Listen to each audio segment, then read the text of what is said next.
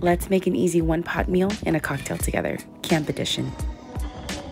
You may think cooking while camping is a daunting task, but to be honest, it's all about the prep work and having the right tools.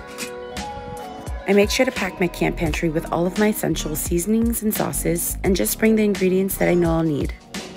I love having everything organized, compact, and planned out. That way, everything is ready and I can get to cooking and enjoying my meal faster. The best part is you'll create amazing meals while camping all the time.